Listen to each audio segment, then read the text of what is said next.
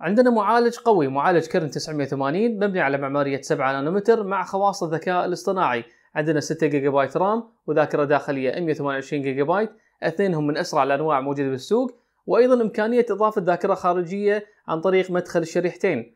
البطارية عندنا كبيرة 4200 ملي امبير تدعم الشحن السريع الشحن اللاسلكي السريع وأيضا الشحن العكسي سواء سلكيا أو لاسلكيا وعندنا شاشة قياس 6.4 إنش وضوحها دي من نوع دي عندنا من الاعلى كاميرا أمامية 24 ميجا بكسل وعندنا أيضا سنسرات إضافية لمسح بصمة الوجه أيضا عندنا بصمة أسفل شاشة التليفون. الكاميرا الأساسية 40 ميجا بكسل الكاميرا الثانية 20 ميجا بكسل والكاميرا الثالثة 8 ميجا بكسل هذه الشغلات تخلي الهواوي Mate 20 Pro أفضل جهاز نزلته هواوي لحد الحين وممكن يكون أفضل جهاز لسنة 2018 خلينا نشوف.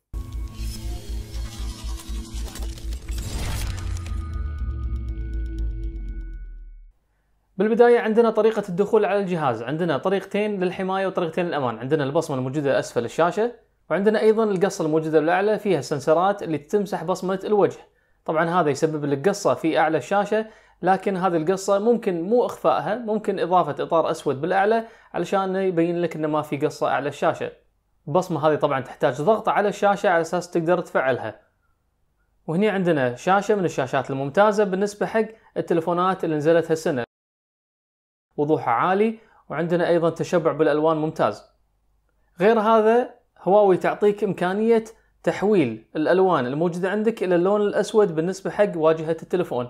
بكذي أنت تحمي الشاشة أكثر وأيضا تزيد من عمر البطارية لأن اللون الأسود في شاشات الأموليد يقلل من نسبة استهلاك البطارية. النظام عندنا هني نظام EMUI 9.0 طبعا شرحت إمكانيات النظام هذا في فيديو منفصل راح أحط لكم الرابط هني بالأعلى. بالنسبة حق النظام ففي شغلات تعجبني في شغلات ما تعجبني. الشغلات اللي ما تعجبني اللي هي الواجهة العامة بالنسبة حق هواوي. الواجهة العامة هي مثلا طريقة ترتيب الأيقونات نظام الصفحات. هذه الشغلات ما تعجبني. حتى انك هني تقدر تغير من نظام الصفحات إلى نظام الأب درور اللي هو تضغط زر هني تطلع لك البرامج. لكن المشكلة إن عندك هني أيقونات كبيرة ما في نظام إنك تحط فولدرات داخل الأب درور نفسه داخل درج البرامج. وأيضا لو تلاحظون الأيقونات كبيرة بالنسبة حق الشاشة هذه. يعني هذه الشاشة ممكن تعطيك إمكانية ترتيب الأيقونات في عندك 5 على 6 هذا أكثر شيء. المفروض إنه يعطونك اختيارات أكثر وأيضا بالنسبة حق حجم الأيقونات يكون أفضل من كذي. إذا سحبت لليسار في عندنا هني ال Google Feed. التلفون في عندنا طريقتين بالنسبة حق التنقل. في عندنا ازرار الأندرويد الموجودة هني. طبعا بالإمكان إخفائهم عن طريق الزر هذا. وفي عندنا الطريقة الثانية اللي هي طريقة ال swipe. تسحب من الأعلى للاسفل عشان تدخل على آخر البرامج. تسحب من اليسار أو تسحب من اليمين علشان ترجع back مرة ثانية أو ترجع للخلف خطوة وتسحب من الزوايا علشان تدخل على Google Feed أو Google Now وعندنا الطريقة الثالثة اللي هي عن طريق الزر المتحرك اللي هو يعطيك أكثر من مهمة.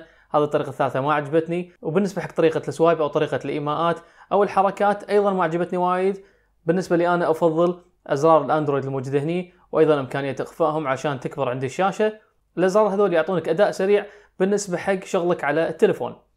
بالنسبة حق التصميم من اليمين عندنا زر التشغيل هني ملونين زر التشغيل باللون الأحمر وعندنا زر الصوت من الأعلى عندنا ميكروفون وعندنا أيضا ال IR blaster اللي هو حق ال remote control. هني تقدر تتحكم بأجهزتك المنزلية عن طريق المنفذ أو المكان هذا. من اليسار ما عندنا شيء ومن الأسفل عندنا مدخل USB Type-C وعندنا ميكروفون وعندنا أيضا مدخل الشريحتين أو الشريحة والذاكرة الخارجية. الذاكرة الخارجية هني من نوع nano memory. ذاكرة خاصة في هواوي حاليا ومتوفرة فقط ل 128 جيجا بايت لكن الجهاز يستقبل ل 256 جيجا بايت.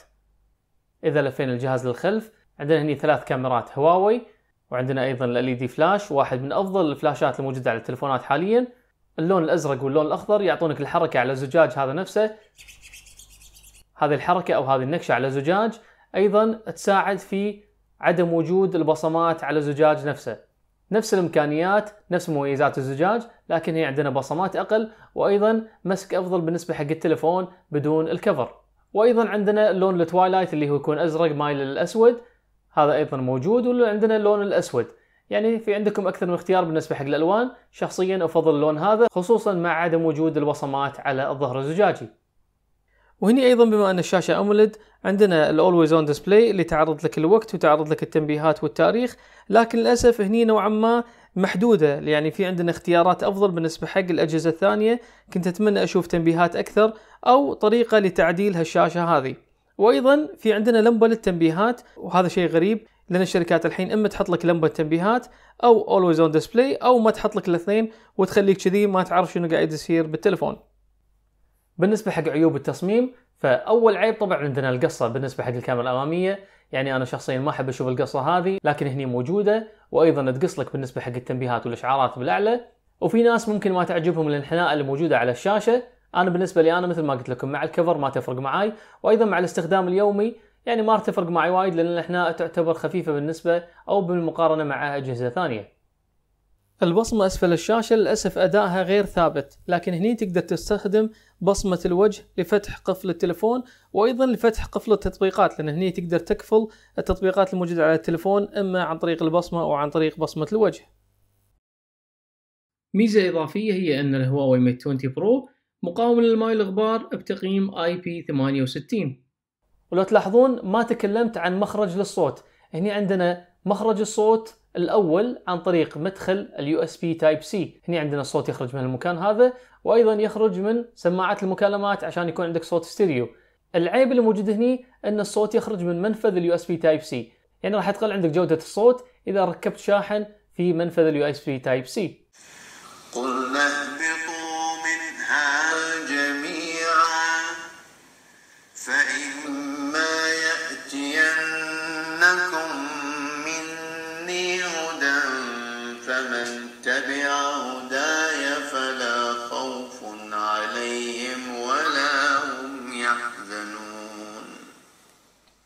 الحين بالنسبة حق النظام بالنسبة حق ال software مثل ما قلت لكم شرحت أنا إمكانيات النظام نفسه عن طريق برنامج الكاميرا وعن طريق الاختصارات الموجودة بالنظام في فيديو منفصل. حطيت لكم الرابط في الأعلى وحطيت لكم الرابط في صندوق الوصف.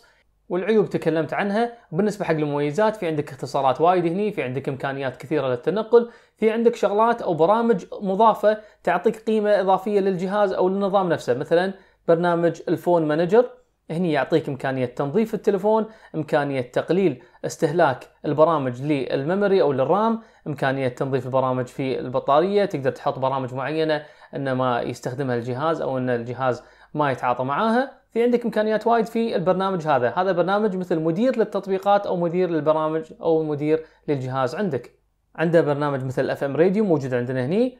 وبرنامج ال backup هني برنامج ال backup ممتاز خصوصا إنه يعطيك إمكانية مضافة هي عمل backup أو عمل نسخ احتياطي بالنسبة حق الذاكرة اللي واصلة في التليفون سواء كانت nano memory أو وصلت أنت flash memory عن طريق مدخل ال USB Type-C عندنا برنامج ال Phone Clone إذا كان عندك جهاز جديد أو إذا كنت بتنتقل من جهازك الجديد إلى الهواوي ميت 20 برو وعندنا برنامج Smart Remote هذا يستخدم مخرج ال IR اللي تكلمت عنه بالنسبة حق التصميم علشان تتحكم في أجهزتك اللي فيها remote control أيضا في عندنا هني إمكانية نقل شاشة التليفون إلى شاشة ثانية أو إلى شاشة التلفزيون بدون تواجد أسلاك عن طريق فقط شبكة الواي فاي تشبك التليفون بالشاشة وتقدر تنقل محتويات التليفون يعني تقدر تشوف شاشة التليفون على الشاشه اللي أمامك أو تقدر تشوف شاشة شبيهة في ال Windows خلينا نقول في طريقة البرامج وطريقة فتح التطبيقات وأيضا تقدر طبعا توصل keyboard و mouse عشان تكون تجربتك مشابهة لتجربة الكمبيوتر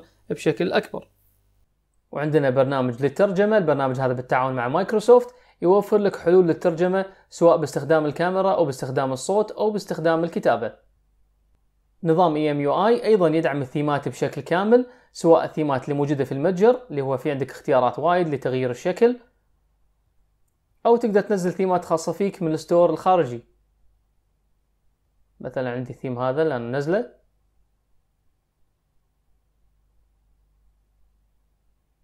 تلاحظون غير لي شكل الواجهة وأيضا غير لي شكل قفل التليفون. وعندنا أيضا برامج ثانية من هواوي مثلا Huawei Health مثلا Huawei Calendar مثلا عندنا برامج خاصة لإدارة الوقت إدارة المهام كلها موجودة في اي 9.0 وهني بالنسبة حق التحديثات فللأمانة من أسرع الأجهزة اللي تتلقى التحديثات من هواوي. يعني أنا ما كنت أتوقع الدعم المباشر اللي قاعد يوصل على الجهاز هذا لكن الدعم جدا ممتاز. بالنسبة حق أداء البطارية فالبطارية هنا جدا ممتازة. يعني الأداء خلينا نقول ثابت. بالنسبة حق وقت الشاشة راح يكون عندي 6 ساعات إلى 7 ساعات يوميا. ومثل ما قلت الجهاز يدعم الشحن السريع. عندنا شاحن سريع جدا موجود بالعلبة 40 واط يشحن لك التليفون من صفر ل 60% خلال 20 دقيقة تقريبا. وأيضا يدعم الشحن اللاسلكي السريع لغاية 15 واط. بالنسبة حق أداء الكاميرا والتصوير فهني عندنا واحدة من أفضل الكاميرات الموجودة على الأجهزة النقالة سواء من خلال التصوير العادي أو تصوير البورتريه تصوير الأشخاص مع عزل الخلفية أو التصوير الليلي أو تصوير الأشياء عن طريق عزل الخلفية. وهني عندنا أيضا تعاون مع شركة لايكا في عندنا أكثر من نمط بالنسبة حق الألوان. عندنا النمط العادي نمط الألوان القوية نمط الألوان المتوازنة وأيضا عندنا نمط التصوير بالأبيض والأسود. ولا ننسى أن في عندنا Pro mode أو نمط التصوير ال Pro أو الاحترافي تقدر تغير بالإعدادات مثل ما تبي. وهني مثل ما قلنا عندنا ثلاث عدسات يعني تقدر تصور telephoto اللي هو يعطيك ال zoom لغاية 3 X بطريقه ميكانيكية أو تاخذ تصوير عادي أو تاخذ ال wide angle اللي يصور لك بزاوية عريضة.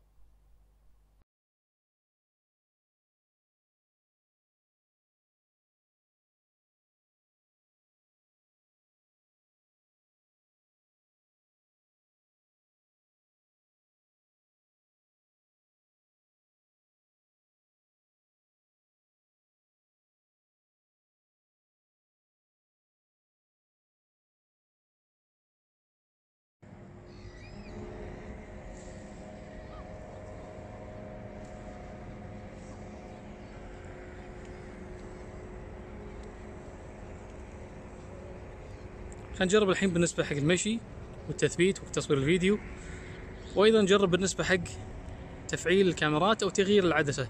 هنا عندنا العدسة عادية هنا عندنا ال wide angle وهنا عندنا ال telephoto اللي هي عدسة ال zoom. بالنسبة حق تصوير الفيديو فالجهاز فيه مثبت بصري ميكانيكي وفي أيضا مثبت بصري رقمي اللي هو EIS لكن في ملاحظة بالنسبة حق التصوير بشكل عام هنا عندنا over sharpening يعني في عندنا تحسين زايد عن اللزوم بالنسبة حق التصوير بالنسبة حق الفيديو. يبين عندك إنه لو تلاحظ بالنسبة حق الأسود ما بين الأسود والأبيض إنزين في عندك مثل تحسين زيادة بالنسبة حق الأسود. طبعا هذه ممكن تنحل عن طريق تحديث في software لكن حبيت ان أبين لكم إياها. لما تفتح برنامج الكاميرا في عندك هني الهواوي lens عدسة هواوي. لما تضغطها ثم يساعدك بالنسبة حق التسوق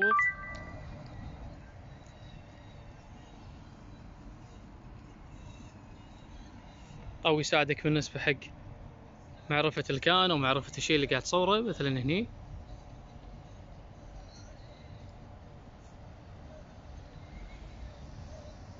حط لنا هذه بالم تري يعني هذه نخلة.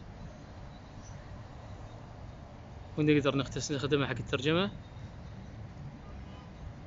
وأيضا نسوي scan حق ال QR code أو الرموز الموجودة على المنتجات. وأيضا الكاميرا الأمامية تعتبر كاميرا أمامية ممتازة بالنسبة حق الأداء. هذا الحين تصوير الكاميرا الأمامية اللي هو ميت 20 برو مع تفعيل وضعية ال HDR تقدر تفعلها بالنسبة حق الفيديو الكاميرا الأمامية. وهذه مفعله الحين. الحين وقت المشي شوي نشوف التثبيت لأن المفروض في تثبيت في الكاميرا الأمامية في الميت 20 برو خلينا نغير الحين نسكر ال HDR ونشوف التصوير. من الملاحظ إنك لما تصور بالكاميرا الأمامية تصور فيديو راح يصير في عندك crop بالنسبة حق التصوير فراح يقرب عندك التصوير شوي فلازم تبعد زيادة لما تصور فيديو تصور صورة عادية لا عادي الوضع عادي. الحين سكرت ال HDR وهذا هو التصوير بدون تفعيل وضعية ال HDR في الكاميرا الاماميه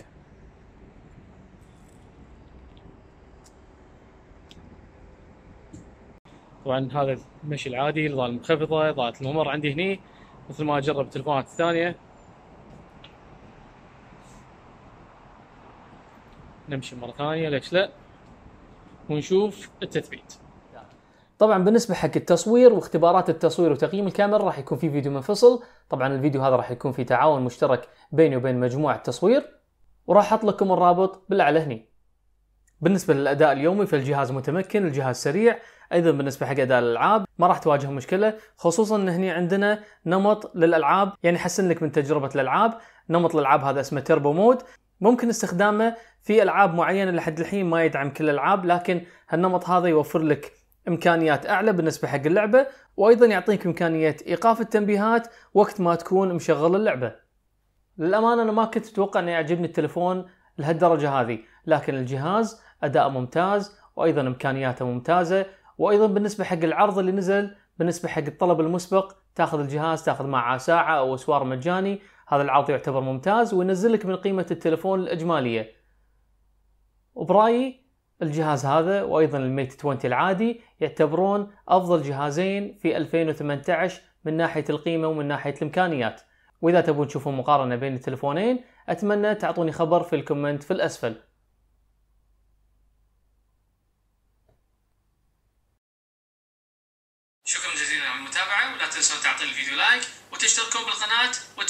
التنبيهات عشان يوصل لكم تنبيه أول ما ينزل فيديو جديد على القناة.